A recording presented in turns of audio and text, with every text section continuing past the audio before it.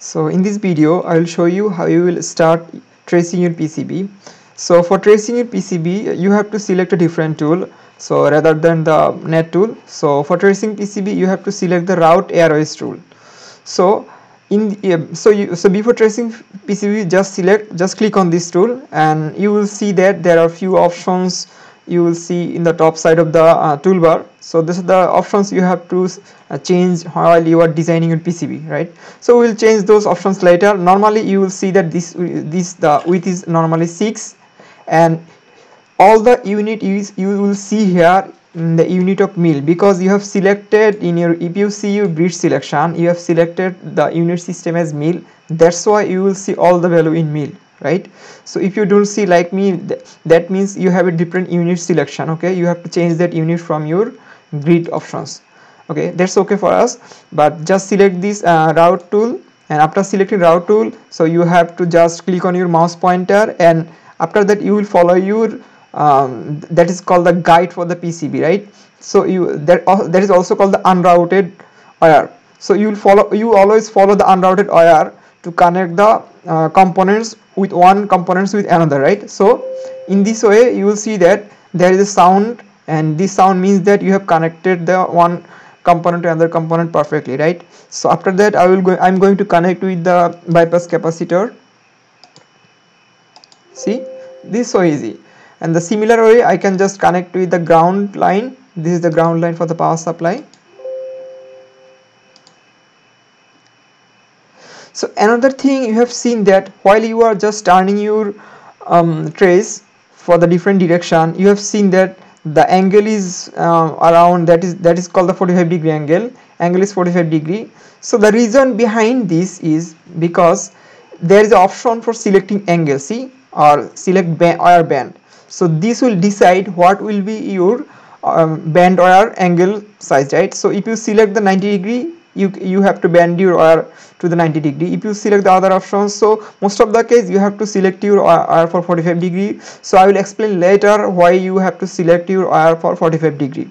So that this this is for the beginning tutorial for the tracing your pcb so that's why i'm just making things little complex less complex. Okay so that's it. But the problem with this type of uh, routing is that this this actually this trace is so thin that so so if your um, pcb just draw a lot of current if your all the components draw a lot of current norm normally then this trace is not standard for power supply right?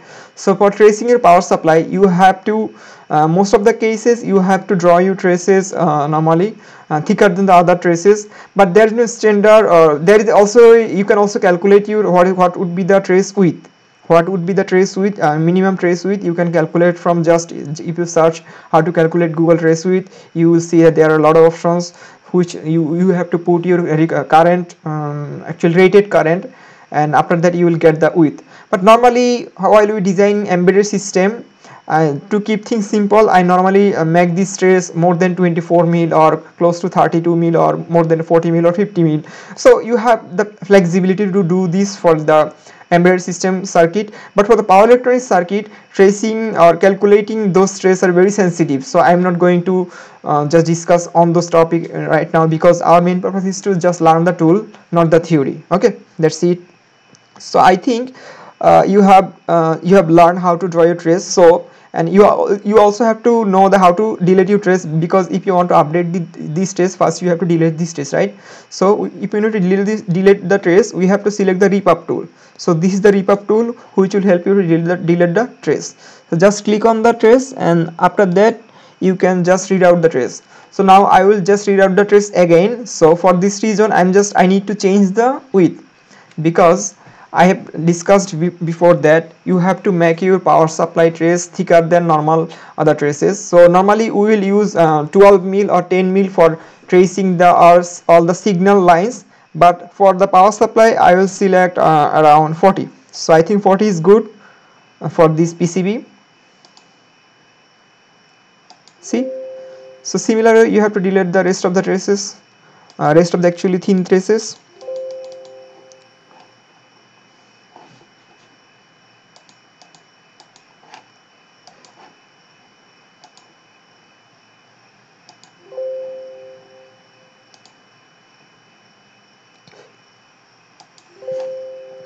so this is the last one. I have to delete.